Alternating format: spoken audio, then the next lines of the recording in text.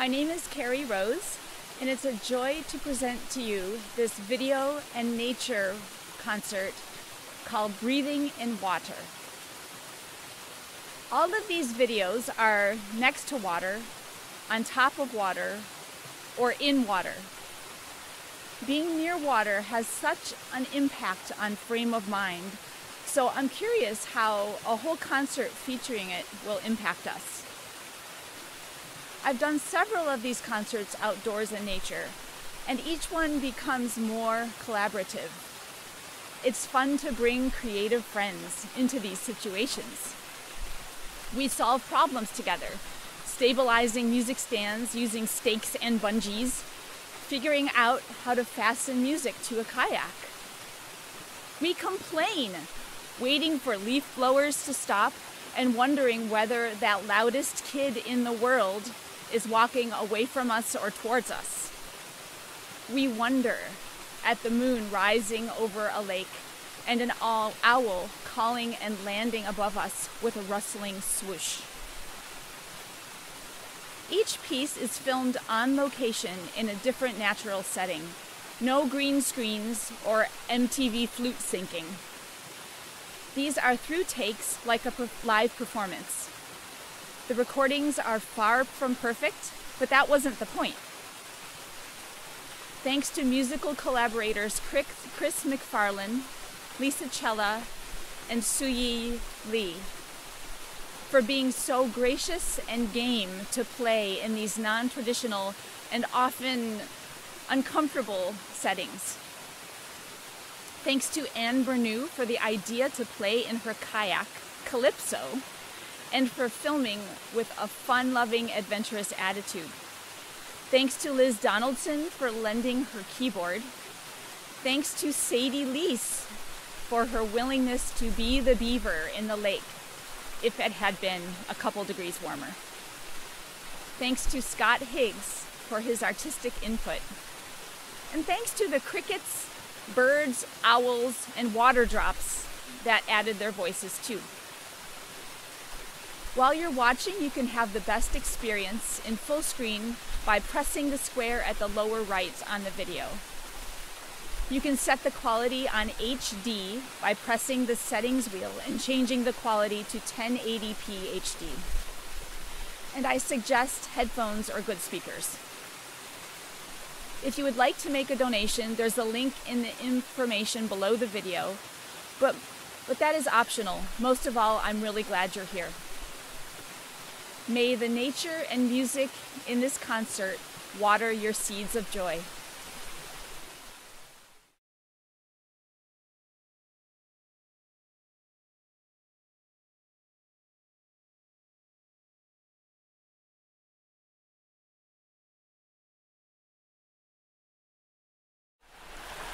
The Sonata in E minor by Johann Sebastian Bach is truly a duo that is virtuosic for both flute and piano.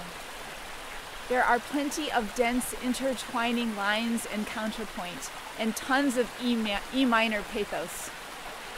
Will, here we will play the first and second movements, Adagio, ma non tanto, and Allegro. They are thick, dark, and chocolatey. This is filmed with Szu-Yi Li on keyboard in Derwood, Maryland, next to Lake Needwood, at the beginning of the DC area's Rock Creek Trail.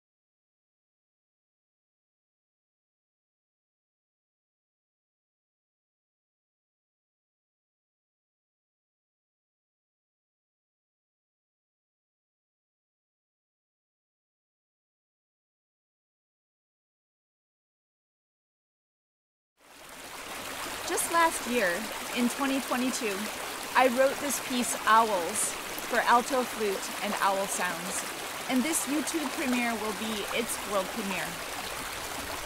The recordings of owls were found at online sources Pond5 and Freesound.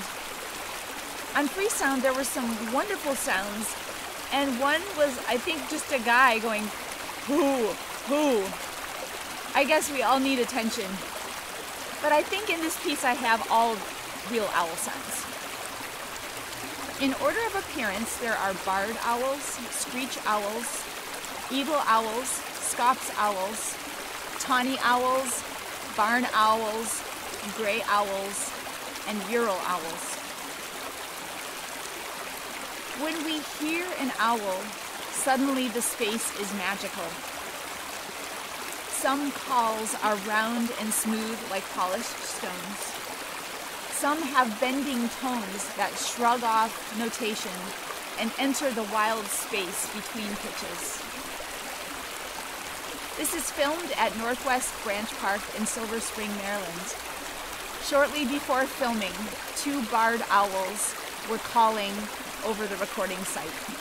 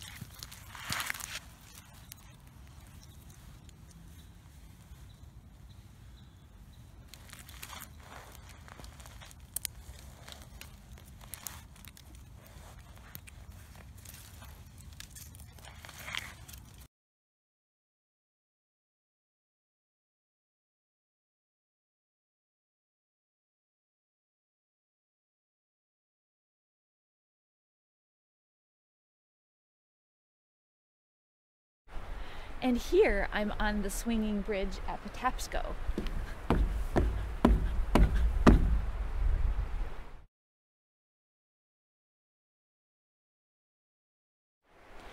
Pièce was composed in 1936 by neoclassical composer Jacques Ibert and was premiered by the famous flutist and pedagogue Marcel Moyse.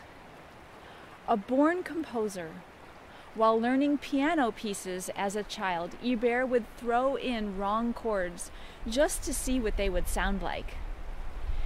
He did not compose in any one style, and this work has a light, wandering, improvisatory feel. To me, the piece seems watery and relaxed, with occasional turbulence, like floating in a boat. This recording was made in Darnestown, Maryland, on the C&O Canal near Violette's Lock, with the help of Anne Bernoux. An enthusiast for these musical videos in nature, Anne had the idea of playing in her kayak, Calypso, and together we figured out how that would even work. We piqued the interest of people on the towpath that morning.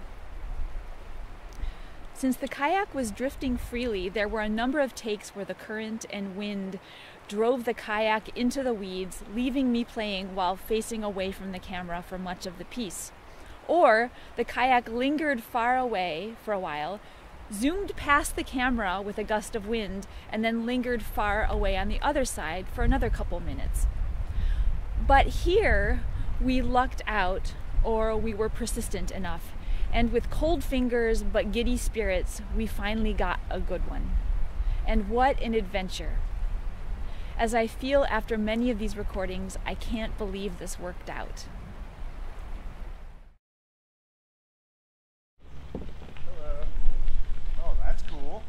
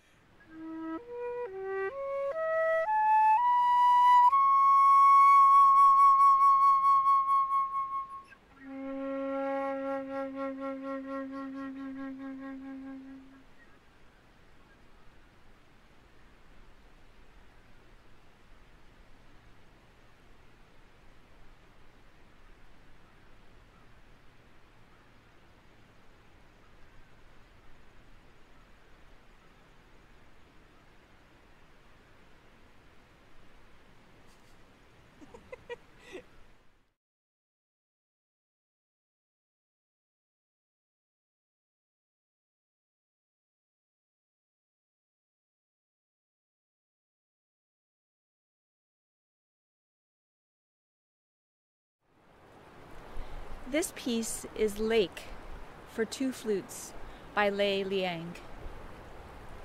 It is filmed with Lisa Cella, flutist, at Lake Frank in Rockville, Maryland. Her daughter, Sadie Lease, was with us and would have been the beaver in the lake if it had been a little warmer. Lei Liang writes of the piece On a visit to a Buddhist monastery, in the evening, while walking alone by the side of the lake, I caught the sight of a V shape floating and extending on the surface of the water. It was a beaver taking a swim under the moon. Now, on the surface of silence, the flutes inscribe their markings with sounds not unlike what the beaver did on the surface of the lake.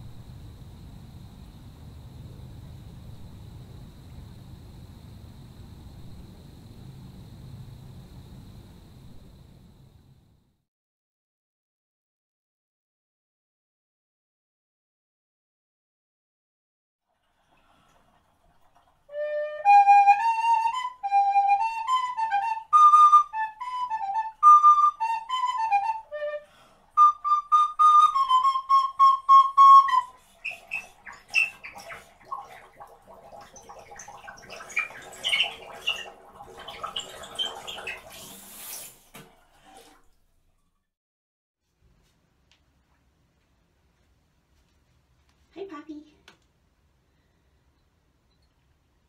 You want me to start the water?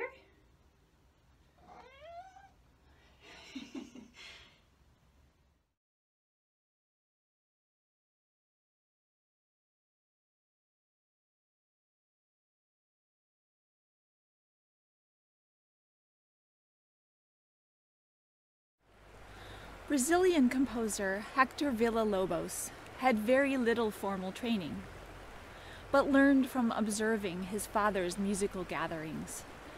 He played with Brazilian street bands in the cinema and theater, absorbed tangos and polkas, and for a brief time he was cellist in an opera company. So his musical experiences fused Western classical music and Brazilian traditional music. He explored Brazilian traditional music in expeditions to the jungles, but stories of capture by cannibals are seriously doubted. Villa-Lobos wrote nine Bachianas Brasileiras. The name fuses Bach and Brazil and applies compositional techniques of Bach to the traditional lyrical song and dance energy of Brazilian music. For example, you can hear plenty of sequences, Bach's technique of repeating melodic fragments higher and higher or lower and lower. Bachianas Brasileiras number 6 was written for flute and bassoon in 1938. The two movement titles, aria and fantasia, also refer to the music of Bach. The subtitle for the first movement is choro, which means to weep or cry and is a type of free, improvisatory, contrapuntal, and often dissonant music played by Brazilian street musicians. This piece was filmed with, with Chris McFarlane on bassoon in Washington, D.C.'s Georgetown at Dumbarton Oaks Park. Several of the surrounding embassies were taking advantage of a warmish December day to operate their leaf blowers but we usually drowned them out. The park has a mossy stream and stone structures that lend a romantic, forgotten feel.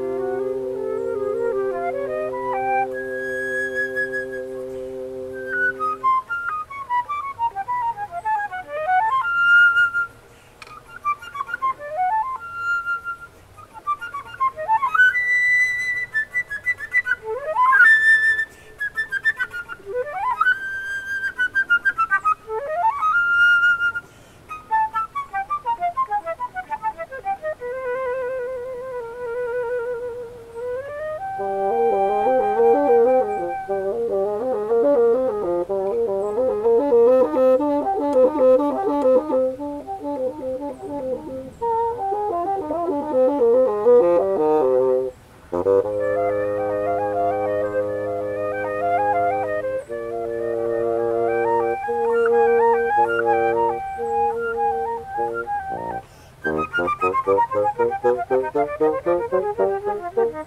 you.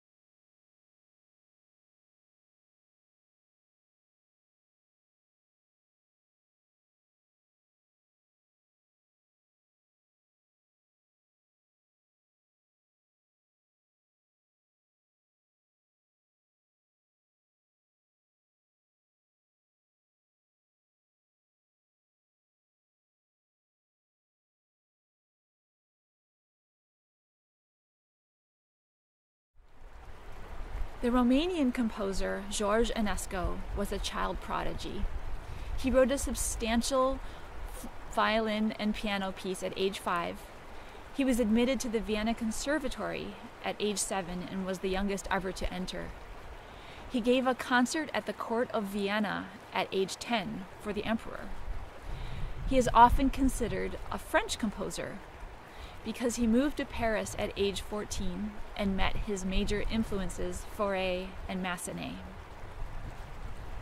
Cantabile in Presto was written in 1904 and was an examination piece with a slow and expressive first movement and a fast, virtuosic second movement. It starts with rich, creamy flute low register, and then light, frothy, long phrases melt in your mouth. This is filmed with Szu-Yi Li on keyboard in Derwood, Maryland, next to Lake Needwood, at the beginning of the DC area's Rock Creek Trail.